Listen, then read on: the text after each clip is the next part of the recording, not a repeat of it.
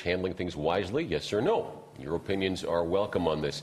Uh, if you're just joining us, uh, streetchurch.ca is the one website to check out with uh, Pastor Art. Uh, the other website would be uh, concernedchristians.ca with uh, Jim Blake, uh, chairman of uh, Concerned Christians Canada. All right, uh, let's uh, take some more phone calls here. Jan uh, from Alberta. Hi, Jan. Hi.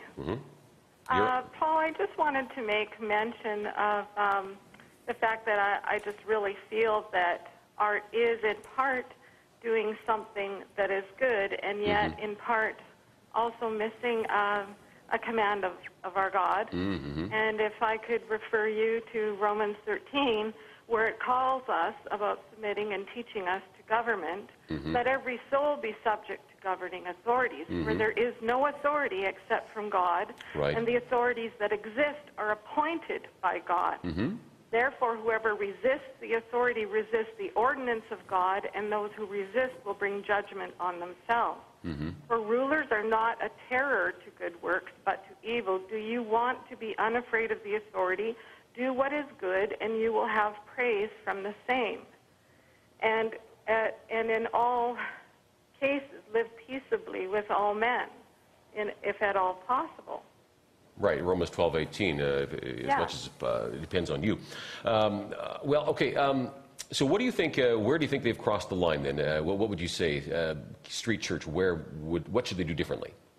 Well, I just believe that um, the peaceable means are a little bit in question. Um, I see the hearts, and uh, I'm thankful for hearts that are willing and desirous be out there on the street with uh, people that are so needy and, and in part being so ignored.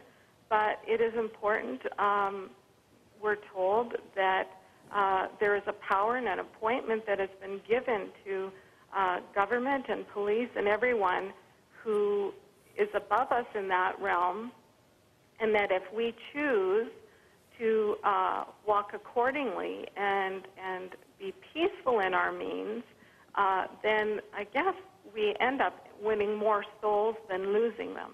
All right. Uh, uh, I just really feel um, that more in the ways of even First Peter tells us that we are to be submissive. Um, okay. Uh, you, you know, and, and I, I, let's, just in the interest of time here, we're going to have to give our, our guests a chance to, to respond to that. Go ahead. Well, I will go back first um, to comment on this um, religious perspective. Wise men win souls, God says in His Word. Second, Roman 13 is kind of like a cliche not to obey God's commandments because, yes, that's true that authorities come from God, but let's say Hitler. Hitler said that the Jews are not fit to live, and he ordered to kill them. Well, you're a Christian. Germans were a Christian nation. They all obeyed that word. Not all of them. There were some good, of course, that didn't. And um, so my question is, are we to obey evil governments, evil laws that say feeding homeless is a crime, you're not allowed to do it, preaching it's a crime? Because if we go that line, every man and a woman of the Bible broke that law. You got Daniel against the law of the king, praying. Okay. Of course, you got Peter, as the lady just mentioned, breaking so, the law. Well, maybe Jan is saying, uh, you know, no, keep on preaching, keeping feeding the poor, but park your vehicle in a different spot. Is that what you're saying, Jan?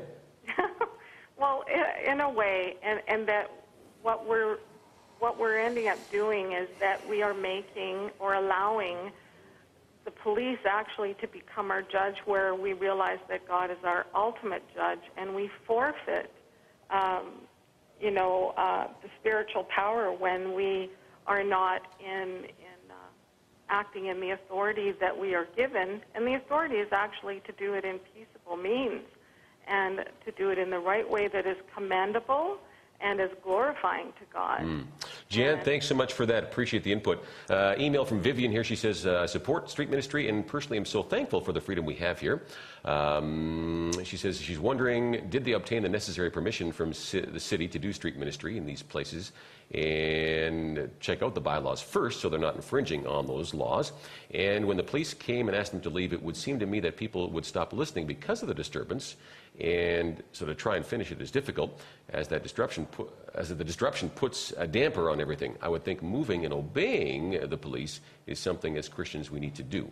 Okay, you got to get a couple Can I, can I address there, that? but, I uh, think there's yeah. a really important uh, thing that we need to look at, and that is that, you know, when you're looking at social change, right? And, and you have a climate that is, and, and you know, people are being fined and arrested for as little as reading from a Bible on a public sidewalk. Yeah. So Yeah. let's put this in context a little bit, okay?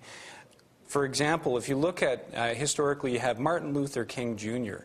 doing some things that a lot of people would think would be completely outside of the, of the realm of, of orthodox. Mm-hmm. And, and yet, because of the work that he did, he, and many, many people would give him credit for the fact that, that blacks now have rights today Right. in North America. Mm-hmm. And yet, many people, including a, a great number of people from the church and leaders and so on within the church, were very negative towards his approach Yeah. in terms of bringing you. You're those saying there's a greater forward. cause here. Sometimes some of these small laws are worth breaking in the sense that And, and we're not suggesting, we're not cause. actually advocating Christian activism, but active Christianity, which says Okay. That you that you actually stand for what the Bible says Yeah. to to I cry out for those who have no voice. You actually obey. and Um, Yeah, believe. I hear you. I'm sorry to interrupt you, but I'm getting down to the last 90 seconds here, I think, as well. I wanted to ask you, I mean, what happens if you lose the trial? Well, first of all, we, I don't believe we're going to lose it. Okay. You cannot lose with But, God. but, but if you were to lose, you'd continue preaching anyway? we continue to preach. We continue to feed the poor. It's not an option. It's You'll go to jail if necessary? I went there a few Okay, times. been there- it was uh, been there, only done a, that. a beautiful thing that happened out of it. So. Okay. Um, what would you like to see happen ideally in downtown Calgary? Let's say, for example, you win the case.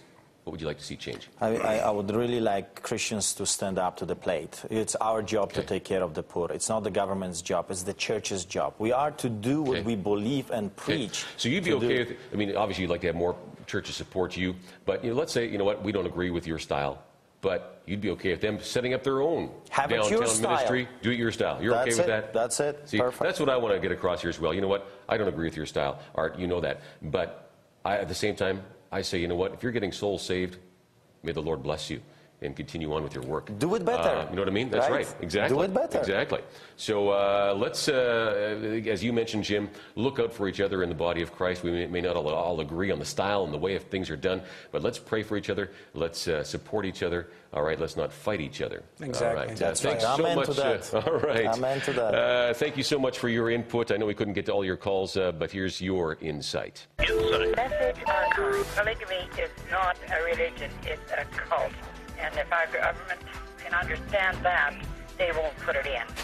I would like to make a comment on polygamy. A caller on the family broadcast suggested that polygamists have a right to practice their beliefs and that we should leave them alone. I disagree with that. I feel it's a mistake to be so complacent about something so dangerous. I watched an interview on the 700 Club uh, with Irene Spencer. She wrote the book Secrets of Polygamy Revealed.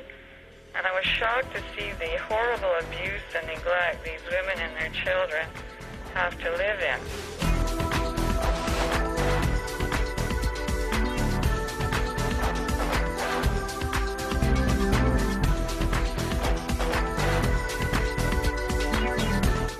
All right, leave us your comments on that comment line uh, if you couldn't get through today. On the ne- next Insight, Pastor Craig Strickland joins us, author of A Rethinking Reason. Have you ever noticed that each denomination seems to ha- think that you know, we have the 100% correct doctrine, right? We're like that, but that means 99% of us are wrong and 1% would be right.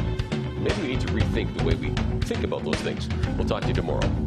Visit miraclechannel.ca slash insight to download the audio podcast of today's show. To order a DVD, call 1 866 719 4545 and request the program number.